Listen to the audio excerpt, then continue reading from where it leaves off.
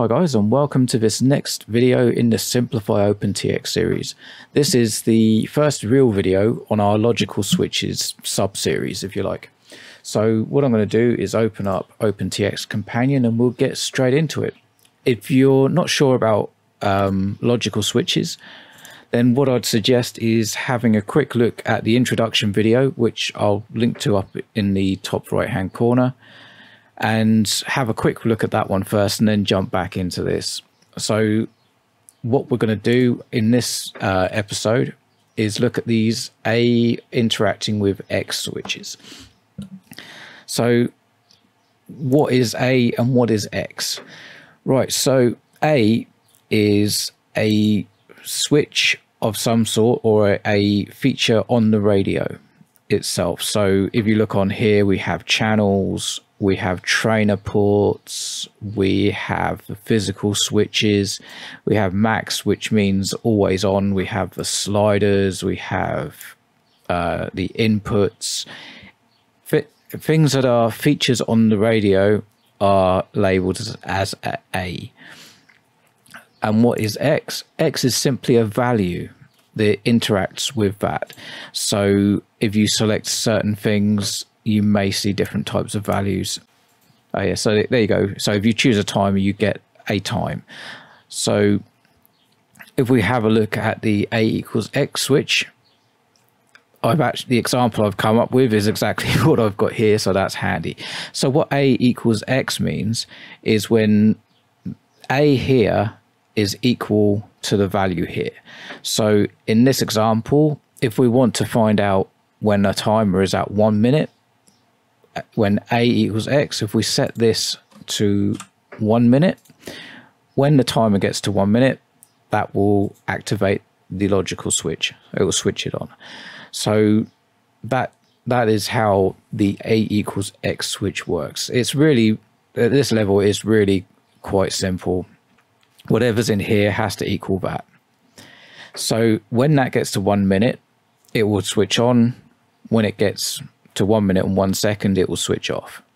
So what I've done is I've just changed the timer from one minute to 10 seconds. And what we'll do is we'll go to setup and we'll set up our, a timer. So timer one, we set it so that when SF is down, it's it goes. So we go to simulate we have our timer, it's counting up. So when that gets to 10, we should see that flash on and then it will flash off when it goes over to 11 seconds. On, off. So that's that's an example of our equals logical switch working. So on to the next one. What we can look at next is the approximate. So what this the squiggly line means is when a is approximately equal to x. So what that means is plus or minus just under 1, so plus or minus 0.9.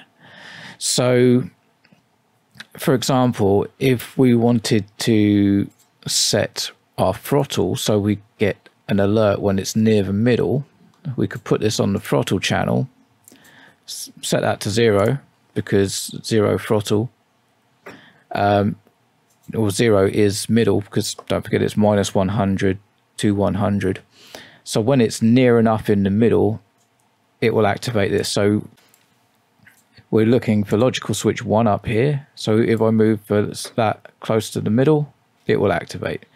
As you can see it's it's within one percent and it goes minus one percent it's still active, zero is still active. So it's it's approximately center. So that's that's how that works. Next, we're going to look at these two. Um, what these mean is A is greater than X or A is less than X. So what we'll do is we'll set this up on the throttle so that if it's greater than 90%, then it will activate the switch which doesn't seem like something you may want to do yet, but I'll bring something else into this shortly. So if we set this to, actually it's going to be 80, because it's 20 is 10% because it's minus 100 to plus 100. So this will be above 90% throttle. So we can simulate that to check. So our throttle is down, that is up. So we bring it above and it activates the switch. You can see it does say 84, but if, if I center it, you can see it's zero. So it goes negative 100%. We, we now have our switch working when the throttle's above 90%, it activates. So what, why may we want this in the real world? If we've got a, a motor and a ESC are uh, at limits and you're really pushing it, it will say don't draw this many amps for any more than 10 seconds. So what we can do is I'll show you this column now, which it, there's duration and there's delay. So what we're going to do is set a 10 second delay. So what that will do is it will let this go above a, uh, 90% for 10 seconds before triggering the switch. And what we can do is set, let the switch then, you know, do an alarm as a special function to say, hang on, we've been at, you know, above 90% throttle for over 10 seconds, reduce your throttle to cool your ESC down. So, yeah, save burning it out. So if I stick that full throttle, you'll see it won't activate for 10 seconds. So I probably should have done it five, but there we go. So let's give it a little bit of time. There we go, 10 seconds has passed. It's now activated that switch. And if we reduce it again, it will deactivate. So I'll stick it back up from 20 seconds on the timer. So when that gets to 30 seconds, that should that should activate again. So there we go. So you've seen that working.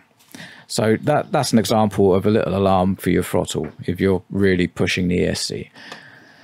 Um, so the less than is the opposite. So it will say if now, if a throttle is less than 90% for 10 seconds, it will activate the switch. But we can put the delay back to zero. So you can see it's active now. If I go above, it will it will activate the, the switch. Or sorry, deactivate. If I go below, it will activate. So those are just the opposite way rounds of doing things.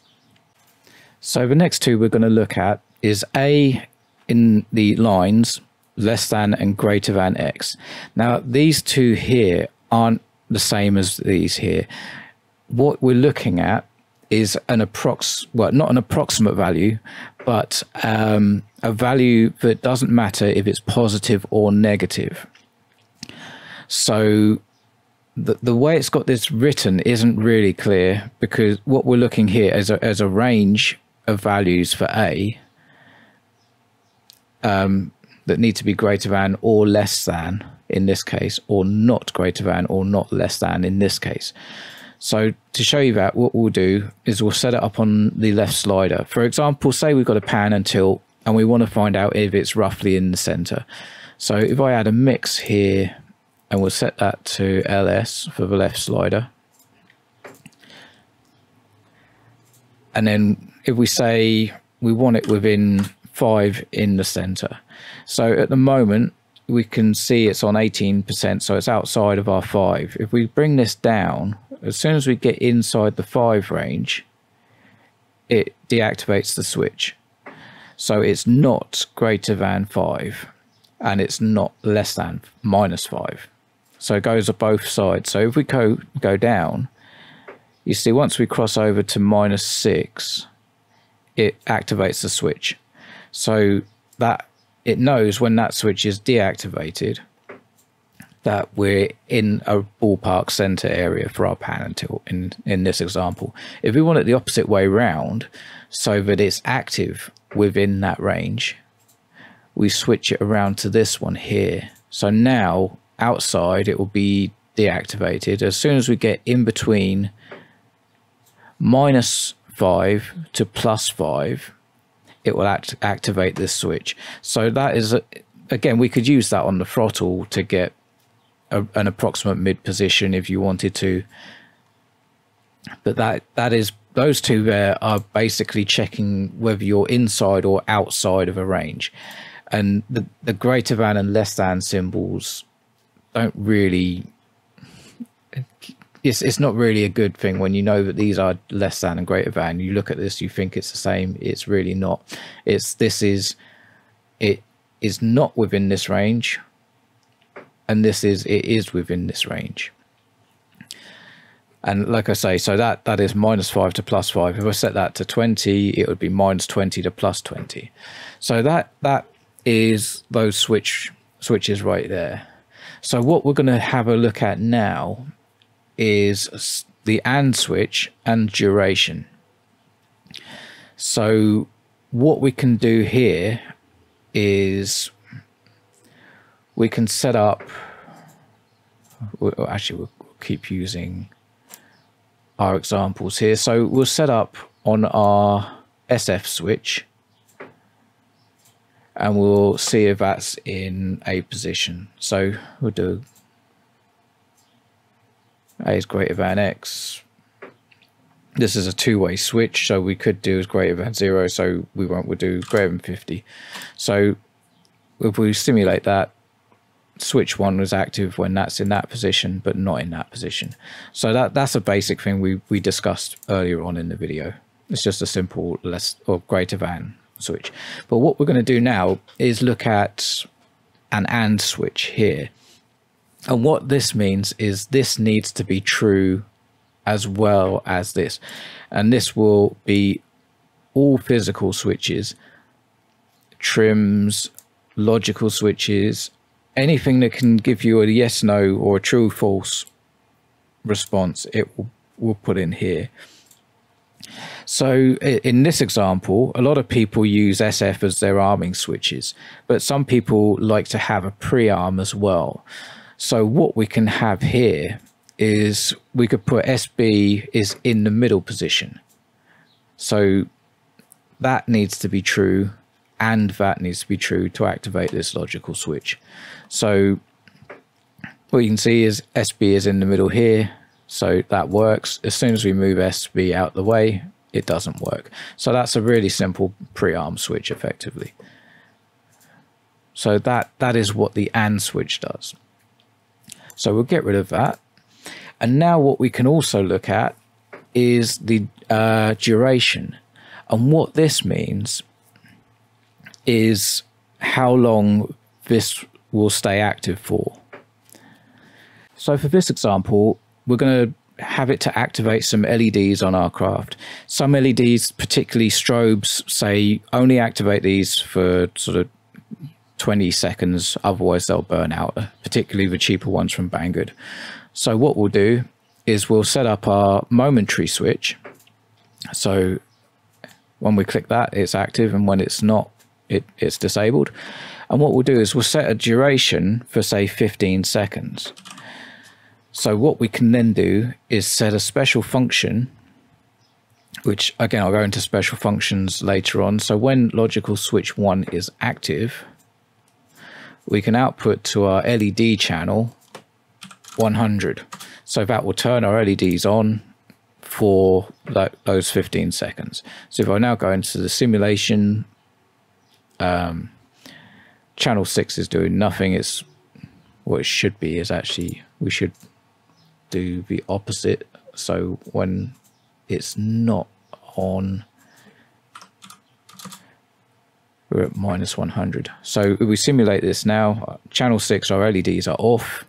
If we flick the momentary switch, it turns the LEDs on and in 15 seconds time, it will switch them off again. So I need to keep babbling for another about three or four seconds and then we'll see this switch off, which is the logical switch here. There we go. So that's how the duration works. So what we have now as a conclusion, we understand the equals, the approximately equals, the greater than, the less than, the not within range, the within range, and we understand what the and, duration, and delay does. So what we'll be doing in the next video is we'll look at the AND, OR, and XOR, which are more traditional um, logic switches. So if you come from a circuits background or a computer background, you probably already know what these do, but we'll explain those in the next video. So until then, thank you very much for watching. If you found it useful, please like um, and subscribe. If you want to leave a thumbs down, that's absolutely fine. All I ask is you put a, uh, a comment below just to say why you didn't like it and what I can do to improve things. And if you want to see the next video in the series and or any of the other videos that I produce on uh, you know, flight controllers, that sort of stuff, please tick the bell icon and you'll be notified when the new video comes out. Thank you very much, guys, and fly them like you've stolen. Cheers. Bye.